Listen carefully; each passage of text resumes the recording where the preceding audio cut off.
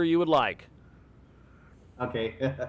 Okay, we are back here on the big broadcast. We've got a tremendous, tremendous guest with us joining us via Skype, and uh, I'll tell you, he he knows how to set up Skype, which is pretty badass because we have a lot of guests on this show they don't they don't do lighting. They they don't have a cool background. They they they they they often look like clods when they're on video. So hmm. i'm glad to see that we have a good a good guy with us today. I'm going to go ahead and let him introduce himself. We'll talk a little bit about the website we'll go from there. Go ahead and jump in there my man. Thank you jiggy. My name is herman sjr i am a researcher for over 15 years, and I research how the uh, illogical fallacies of society help to stifle growth. For example, I use a lot of sciences to prove, such as quantum physics, resonance, obviously psychology, yeah. sociology, anthropology, logic, and a whole plethora of different sciences, just to prove that the position that we're in right now is extraordinarily damaging to us as a global society. Yeah.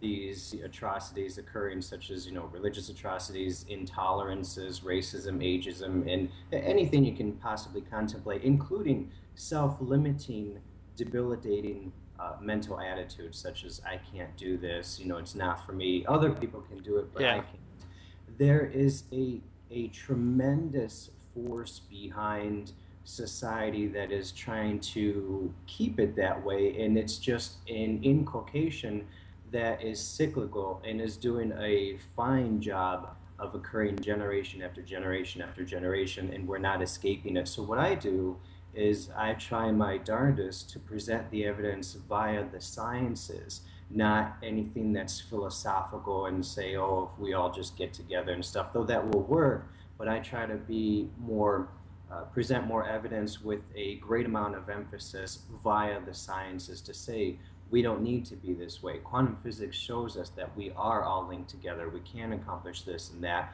So that's the long answer to your question. I do for a great, uh, a great number of years here. Now you have a website. Uh, let us talk about uh, the website itself uh, and and what people can check out when they head over to the website. Go ahead and give us the website address, and uh, we'll direct our viewers and our listeners over there. Sure. The website address is www.herman h e r m a n s as Sam jr for junior.com. www.hermansjr.com. And the website is a portal of for information of where we are, everything that I just said, where we are right now, how to use the sciences to, to really change your life, to change your belief system, and to know that it is not supposed to be this way. And more importantly, it can change on a global scale. We can, you know, rid ourselves from these ridiculous prejudices, these ridiculous atrocities that are occurring for whatever reason because of beliefs that have been handed down to us from generations and generations. You know, I'm a Christian, so you know yeah. this religion doesn't work. I'm a Muslim, so this religion doesn't work, and it's just all this, uh, you know, arrogance and, and negativity there. So the the website is designed as a portal for information of interviews, articles, videos for others to get there and to say, look, these sciences, this is the evidence. Quantum physics proves this, you know, resonance proves this. I can make it, I can do it. You know, there is a lot of positive energy that's out there in the universe and you can tap into it. So it's very, I do it very carefully to not come across as a, and I don't mean this to sound in, in an assaulting manner, but um, just a mystic or someone who's just completely out there. But I use the sciences to say this is proven we can do this. All these occurrences have happened. You know, Tony Robbins is a wonderful example. Dr. Alan, Fred Alan Wolf, the quantum physicist, is a wonderful example. I mean, even the movie The Secret is a wonderful example to get you going there. So that is where the what the website is all about. I'm trying to do everything I can as a humanitarian to yeah. help people see that this is not how your life should be and could be, and you can change it, whoever you are, anywhere on the planet. Well, we've we've got the website up there on screen for our television viewers. Um, you've got a lot of information here. How long did it take you to collect all of this? This is really cool. Well, it's 150 right now, so no, I'm kidding. It took me quite a few, quite a few years. I've been in research for about about 18 years now. I am an autodidact, someone who learns constantly by themselves. Obviously, I have schooling. I'm, I'm going for my PhD as well. But I've always been a die-hard true nerd in every sense of the definition. So I've been studying since I was child, uh, a child, languages, you know, the sciences, everything I can possibly get my hand on. I've just knowledge to me is the number one important thing in the world. So I've been collecting this information, studying religion, studying the mind of people, studying. Uh, I have a heavy emphasis on deception and misdirection in all my research. As a matter of fact, if it doesn't involve misdirection and deception, I won't deal with it. Because I feel extremely firmly that in order to help people see how we can change how society is and how they can get a drastically better life and help them to perpetuate this feeling, you need to use misdirection and deception, not to not to hurt them, but you know to show them different manners of life. And I'll go into that later. But so I've collected all the information. Finally, I said, okay, I gotta get all this information down. I have the articles, the book I authored last year, and then the videos, of course, trying to do everything I can to help people realize that you can do better and your family can do better, your children can do better. We just need to rid ourselves of these mindsets. It's like any problem that exists in the world at any point in any industry, it's just a matter of shifting your perspective. For example, I never ever have bad days, ever. I have good days with bad moments. that's awesome. That's, that's, that's one thing. That's awesome. The wonderful coach Bob Bob Proctor a few years ago and for example, let's say I get up today and I stub my toe, you know, I, I get into a car accident, I, you know, all these different things happen. I was late for work, I was fired from work, whatever it is. You can let that continue your world for that day and let it continue to perpetuate the negativity and your day is gone. Or you can take the worst day possible, and it's hard. I'm not saying it's easy. Yeah. You take the worst day possible and say, I got fired, I stubbed my toe, you know, I got into an accident, whatever, whatever variables you want to use.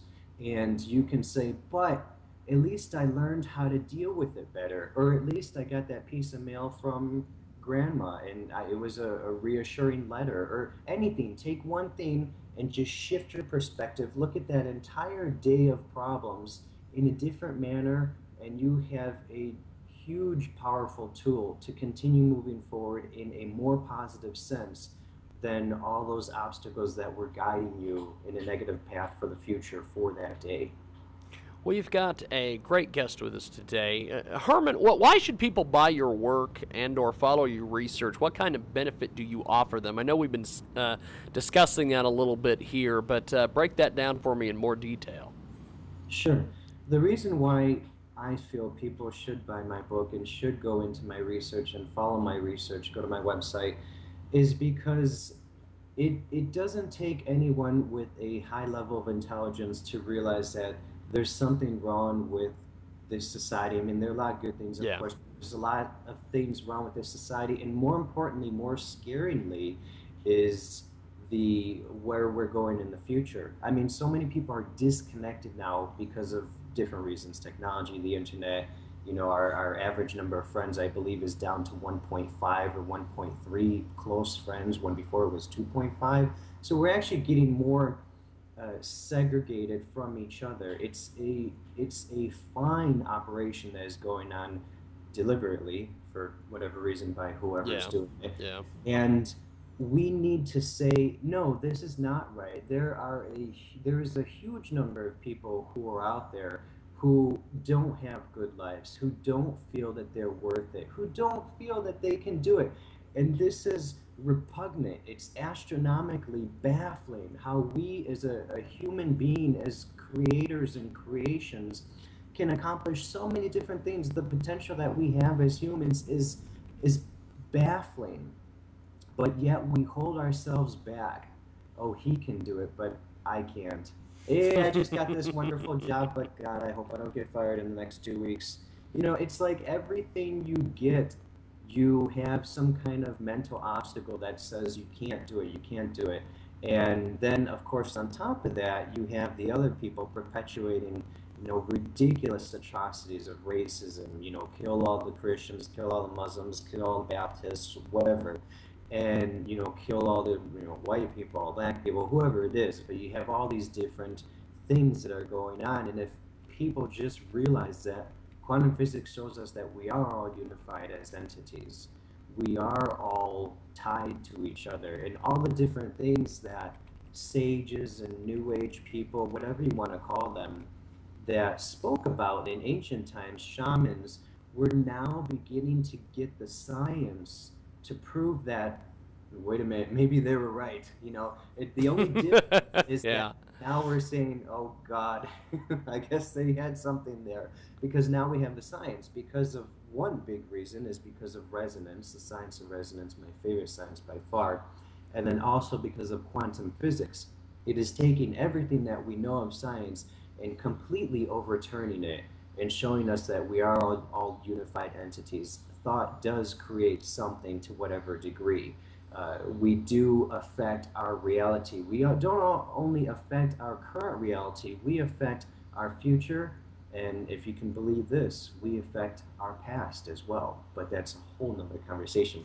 So these are the reasons that I feel that you you will get a lot of benefit by reading the book, by reading the material, because it helps you to shift your perspective and just stand back and say, okay, I don't need this kind of life. I can get something that's drastically better. And more importantly, I can then go out after I'm successful to whatever degree and help others to do the same. And I know this is very idealistic. Yeah. Because I'm a huge humanitarian. Just imagine if a small percentage of the global population of 6 billion people were to do that and perpetuate it and kind of like the movie Pay It Forward.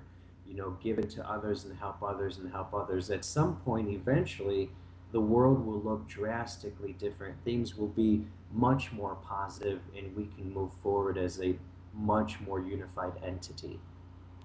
That is a really cool way of looking at things. Uh, how did you get to that level? uh, a lot of thinking. no, as I said, I've I've always been a proud nerd. Very proud to say that I'm a nerd. Even when I finish my PhD in some few years, you know, I'll definitely go for the doctor because I love education. But yes. to answer your question, how I came to that is just, you know, I, I've been very lucky in life. I've been always a, a weird character, someone who looks at problems in a very unorthodox manner. I believe adamantly that you need to study problems from an interdisciplinary subjects aspect. For example, yes, very much so. Okay, you know what I'm speaking of? Yes. yes. You need to look at a problem not only from the aspect, even in business, not only from aspect of management, but uh, employee yep. morale, you know, uh, physics, arts, the entertainment, and then you'll have a drastically more solid solution to any problem that exists the world over in any industry. So, because I've been studying since I was a child all these different things. I, I never say no to knowledge. I was very fortunate in that I was able to this problem in quantum physics relates to this problem in linguistics that we're currently having. This problem in psychology relates to how you keep people on the job and motivated and want to perpetuate the company and their own life via finances and incentives and all that stuff. So I was able to to look at all these things, these problems in society, and say, you know what, it, it shouldn't be like this. And all these different sciences, subjects, industries, whatever you want to call it, show us that if we do apply these other principles, which work drastically in those other areas, it will work without a doubt. I guarantee in these other areas. The only problem, the biggest problem right now, is that we don't see it we think that this is it because of those powers that are out there that perpetuate it forcefully to make sure that there's no change. So if we were to just step back and see that there is something we can do, and all these sciences do prove it, the world will be on a course to possibly being drastically different. The first case, uh, the first thing we have to do is to first see it, because of course, with any problem, if you don't see the problem, you can't make the change. If you want to get more information on uh, the guest that we were talking to today, uh, Herman can be accessed over at hermansjr.com. That's hermansjr.com. He has a wealth of knowledge over on this website. I, I am looking at this uh, right now, and he has got a ton of different things going on over there. Um, I understand you have a book available uh, that uh, delves into all of this. Um, seeking truth while sifting through a global practice. Uh, first of all, how the hell did you come up with the title of this book? this, this, this, this is definitely something that um, someone of, of your mental caliber would come up with. This is not something that uh, uh, some some some average idiot uh, and and and some some of the. And I'll tell you, if you've ever been, if you've ever heard this program or seen our television show, we have average idiots on this show. I am I am very shocked that we have been able to get such a great great guy like you on the program today. But let's talk about this book. How did this book come about? Well, it's funny that you mentioned the title because uh, some irony here. Whenever I was growing up, as I said, I've been studying since I was a child, many different subjects. And yes. I always believed that any book with a huge title I thought was ridiculous. And I said to my friends, why are they having this huge title? That's ridiculous. Just say the book of physics, whatever. You know, the big, the book of Jiggy Jaguar, whatever. oh, no one would read that book, sir. now, if you wrote it, they probably would, but. so the, the reason for the title is Seeking Truth While Sifting Through a Global Practice is we are trying to seek the truth of logical fallacies, of incorrect beliefs that are held and held on strongly to within society. And one of the global practices is uh, listed in there, and it's basically saying why we believe, you know, all this stuff of religion, why we believe that, you know, Christianity is right, uh, Islam is right, and uh, Hinduism is right and all that stuff. Yes. And all of these different things. So it's trying to seek out the truth, but you have to sift out the real truth from that that's already proclaimed as truth. For yeah. example, if you study any religion, you know, any way of life, they're going to have some kernels of truth, but of course they're going to hide the other parts. You know, Jesus was really crucified. Well, he really wasn't and you know uh, Muhammad was this when he really wasn't, and you know all that stuff. So I won't go into it too much. But to answer your question, it's a way. It's a book that gives a way of looking at things differently to start perpetuating the idea, to give the impetus, the push for people to say, you know, maybe something's not right. I'm not sure, or maybe you are sure, but I'm not sure but at least, if nothing else, it requires getting more information and more evidence. And that's the only thing that I really desire to do for people to help that person that's going through life that believes that prayer is the answer when they're not doing anything and their life is falling apart because they're not moving forward. They don't believe in the potential power that they have as a person as a, a unit of creation, a human being, a spiritual being, a being of energy, and change their life around. So this book is just to give you a, however you want to term it, a magnifying glass or a new vision on a problem that's been with us for a tremendous amount of time. Well, if you're joining us uh, today, we are we are live as live can get. Uh, currently on the Starcom television network, we uh, we, we were doing a, uh, a pre-recorded interview here for our uh, t- for our uh, radio program and our television program. But I, I, had such a fun time speaking with our guests that we ended up running over into our live show, which you will be able to hear the complete interview. Um, we're going to be broadcasting that in the next couple weeks. but I wanted to get Herman with us today. I wanted to catch everybody up who's listening to the live show. If you're watching us on television, you will see our um, you will see Herman's website, which is hermansjr.com. It is a uh, tremendous piece of business, and he is joining us today uh, via the old Skype Rooney. And uh, let's talk a little bit here. Uh, we were talking a little bit about this earlier but uh, I, I want to go back over this a little bit more in, in, finer detail. Why must people look at societal problems such as religion, intolerances, and other issues from the standpoint of uh, just just a, I guess interdisciplinary studies is what you'd call it, um, quantum physics, uh, psychology, sociology, all these. Well, the reason why people must, without a doubt, look at certain problems from different vantage points, whatever that vantage point is, whether it's quantum yeah. physics, physics, resonance, whatever it is, is uh, is because is to get a different perspective. Like I was saying earlier, with you having a bad day, someone yeah. having a bad day, stubbing your toe. All it takes in order for you to continue forward in a more positive, more effective manner is to just shift your perspective and say, you know what, this accident happened, I got fired, but this day is going to be good, I don't care. So you need to, it, one good example is consultancy. I do consultancy all over the world in different countries on different areas, typically in the realm of psychological business strategy. So one thing that you can think of is, uh, let's say if you have a business, uh, Jiggy, uh, and you have a business that you sell soda, yeah. and you have some issue in your company, after you wear out all the options in your company, you're going to look at consultants and you're going to say, okay, we have an issue in marketing, we have an issue in whatever area, area X.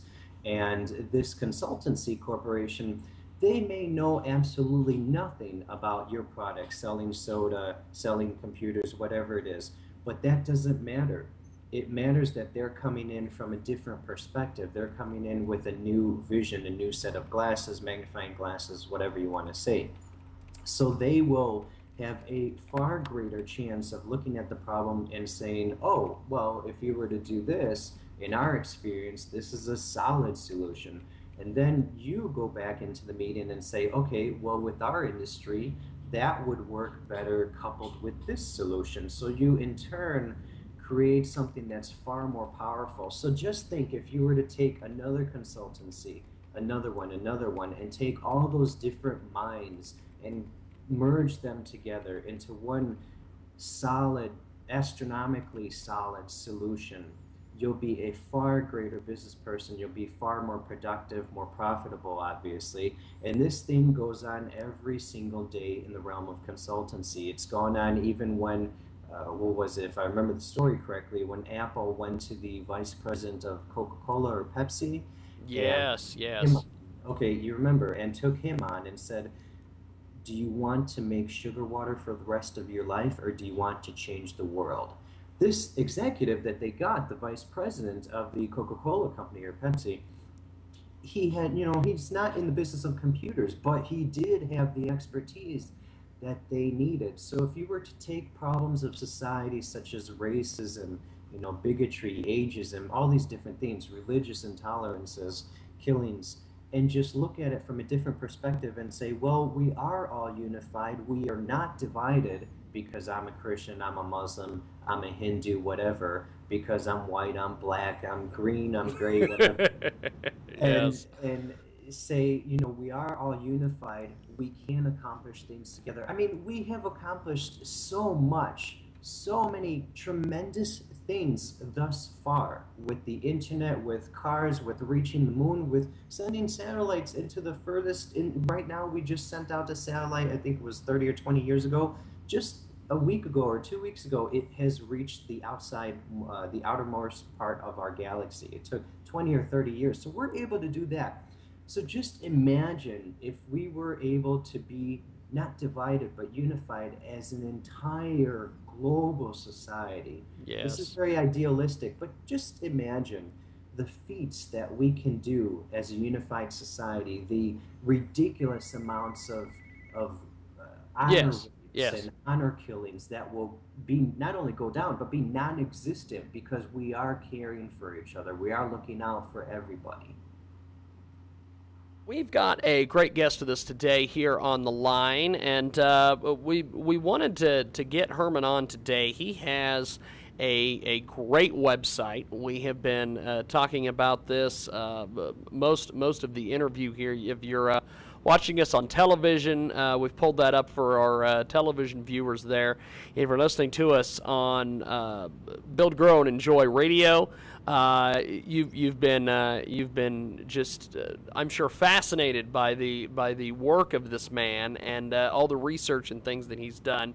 If you're listening to us live as live can get today on the uh, Jiggy Jaguar Radio Network, uh, we will have this interview in full up very soon because you you've missed about a 15 to 20 minute conversation, which is absolutely fabulous.